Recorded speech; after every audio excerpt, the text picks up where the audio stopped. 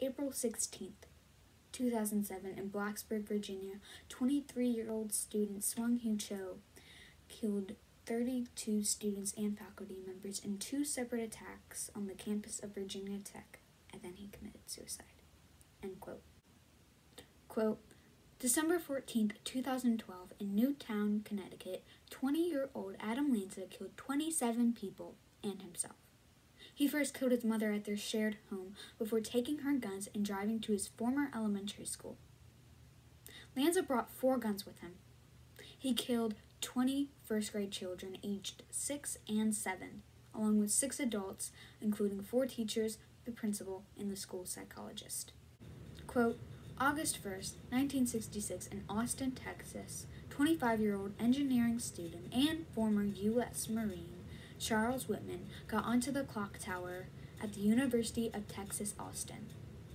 After killing three people inside the tower, he began firing outside from the observation deck atop it, killing a further of 12 people and wounding 31 others during a 96 minute shooting rampage, which lasted until he was shot and killed by police.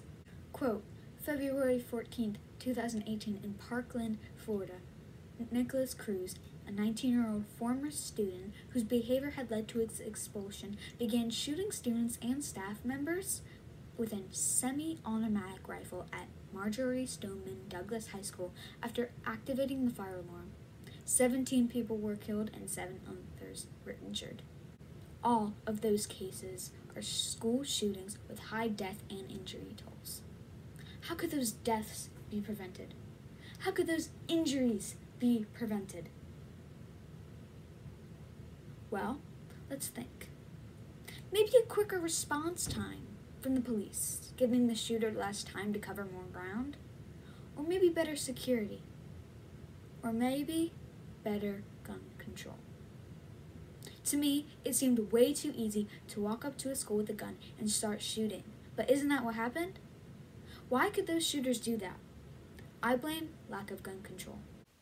What about survivors? What about their problems? According to healthaffairs.org, quote, mass casualty incidences such as school shootings can lead to grief, depression, addiction, PTSD, and somatic symptomology in addition to suicide. End quote. Kids and teenagers like me shouldn't be going through something that can be preventable. Through therapy and taking medicine, kids and teenagers can get through these problems, but it still takes time and money. I blame lack of gun control. I remember when I was in elementary school, and there was an incident with a person running away from police who came awfully close to my school, and yes, they did have a gun. I can't imagine what would have happened if they got in. What teachers and students might have lost their lives. What parents, siblings, and children would have lost their lives because of lack of gun control. Thankfully, my teachers and fellow peers were taught how to deal with situations like this.